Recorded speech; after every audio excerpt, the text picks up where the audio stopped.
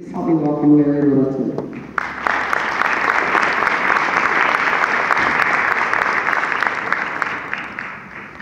Good.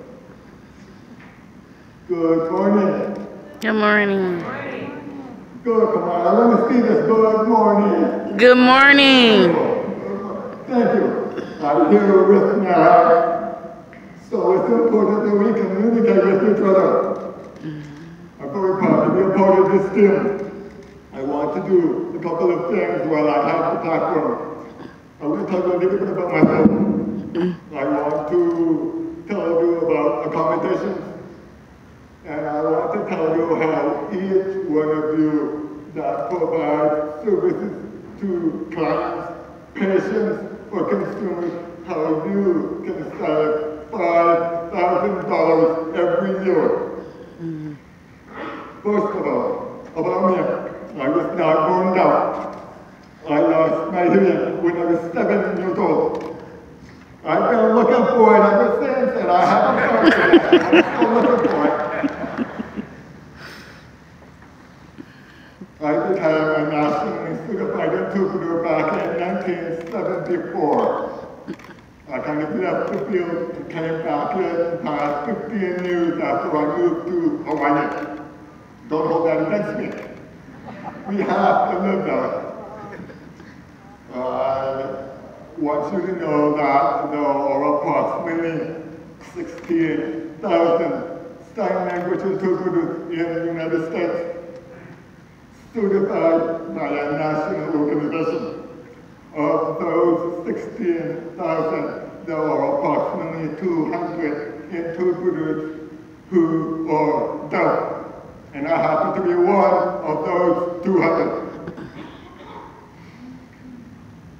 Uh, most of my work is in medical field, emergency room, hospitals, oncology, radiation. Uh, I had the opportunity to study oncology through San Diego State University, where they established a program specifically for sign language interpreters. Vocabulary words, as Katrina just said, and oh, I've already had carpal tunnel surgery on both areas. So our goal today is to try to establish conceptually accurate signs for the vocabulary and the terminology that you use in your profession. Certified interpreters have a code of professional conduct that we follow, just as you follow with the American Medical Association. We follow HIPAA laws. We are bound by this code of. And our license can be revoked just as easy as anybody else's. So important that you realize that I believe communication is a two-way street. So when a doctor and a patient have information they need to share, you want that information to be like this. If the doctor has to struggle or the patient has to struggle, we're not providing effective communication. And each one of you professionals has so much important information that it is disappointing, if I can be really honest with you, that even today, in this room, one of, of seven people has some degree of hearing loss. How many of you know, please raise your hand, someone who is deaf, someone who is hard of hearing, and how about all of those people that are in denial, that haven't gotten the apple yet? So you look around the room and you see how many hands are. Almost half of this room. I requested accommodations for this conference, and I'm very fortunate, unfortunate to say that I haven't been able to benefit from any of this information that's been shared here. Each one of you in this room were accommodated with accessibility, and you didn't have to ask for it. You know what that is? You didn't have to ask for the microphone. You didn't have to ask for the microphone in the aisle. People who have hearing loss have to make those requests. And you, as professionals, whether you are in private practice, whether you are a non-profit organization, you have a responsibility to provide effective communication. Just imagine for a minute if we have two more screens, one here and one here. Every word that is spoken in this conference is transcribed. How many of you would benefit from that? Okay, I hope the organizers take a look at the number of people that are raising their hand. I, I support sending those children to death, but a lot of us would benefit from multiculturalism.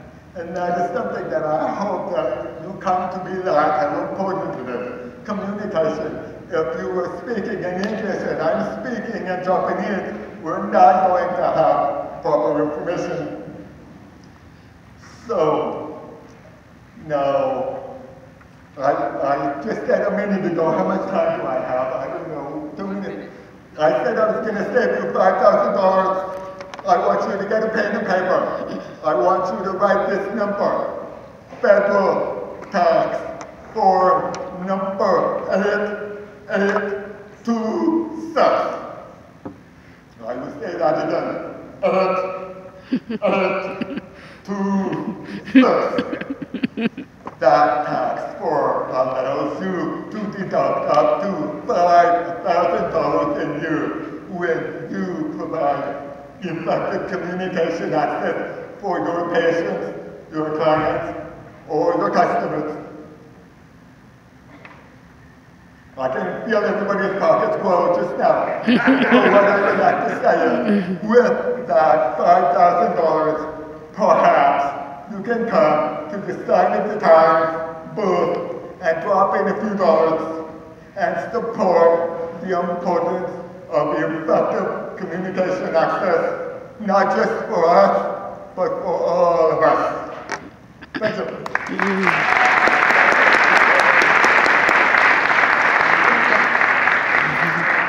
And thank you guys so much. You can go on your cell phones now, go to signs.times.org, hit the PayPal button, and donate.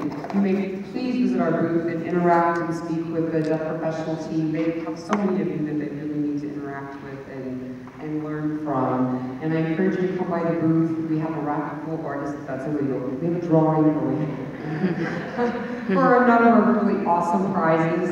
Um, come by and look at that. We also have, all my books are on special. 100% of the proceeds are supporting Signs for the Times. We're still a thousand dollars short of budget this week, so as much help as we can get is greatly appreciated. Um, we thank you all, and we thank you for allowing us to educate you about access. Um, because again, we all know how important campus education is. Being here at this conference, I know is life-changing for many of you who've never experienced this type of education before. I'm so pleased with the education you provide. Thank you, Martha, and thank you for hosting Signs for the Times. We appreciate your support.